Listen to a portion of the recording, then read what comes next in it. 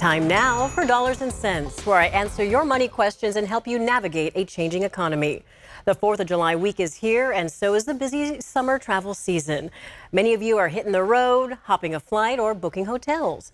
And those trips can get expensive. Should you protect your investment with travel insurance?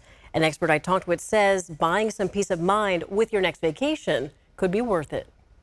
Travel insurance can be a really helpful thing in the in the right situation for the right person. If you've booked a trip online in the past several years, you've likely seen a prompt in the process asking if you want travel insurance.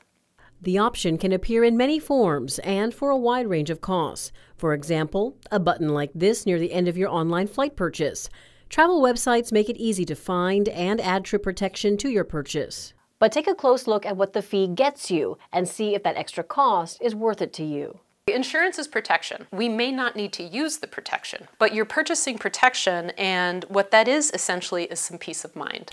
To start, understand that travel insurance typically falls into two categories basic trip cancellation protection and comprehensive travel insurance. Basic protection usually covers things like lost bags, reimbursements if you miss a connection, or a refund if you can't travel because you're hurt or sick. Comprehensive travel insurance usually covers all that, plus medical expenses. Whichever you choose, always check the fine print and see if the insurance covers your specific needs. By paying attention to the fine print, you can understand does this uh, insurance that addresses medical needs as I'm traveling internationally, does it cover a pre existing condition? Sometimes it won't. That's just one example of the kind of questions you should ask yourself. Also, keep in mind if you're booking your trip online, such as hotel, flights, or a rental car, you'll likely be paying with a credit card. So, double check to see what kind of insurance coverage your credit card offers. If you're thinking you might need travel insurance or you just want to feel better about making that big purchase, go look at your credit card agreement or call your credit card company and ask them if there's any type of safety or reimbursement around booking travel. If there isn't, and you're still interested in insuring your trip, Paley recommends looking at companies offering insurance, and there are many options online. But Paley says you might not want it if you're young, healthy, the trip isn't that expensive, and you can afford to lose the cost of the purchase if something were to happen. And make sure that all the stipulations in the insurance contract fit you, your lifestyle, and what you really want out of the insurance.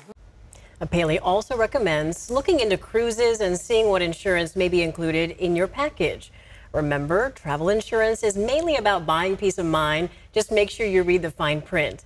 And the conversation doesn't end here. Scan the QR code to see all my dollars and sense coverage and send me your money questions. You can also find them on our website abc10.com. And Chris, another thing that Paley says that everyone should think about, if you have, you know, some kind of health insurance already, you're likely covered when you're traveling domestically, but it's really if you're traveling abroad that you'll maybe want to add some or double check that you're covered. Well, this is certainly a timely topic with the holiday coming up tomorrow and everyone wanting to hit the roads oh, and yeah. maybe travel this weekend. Mm -hmm.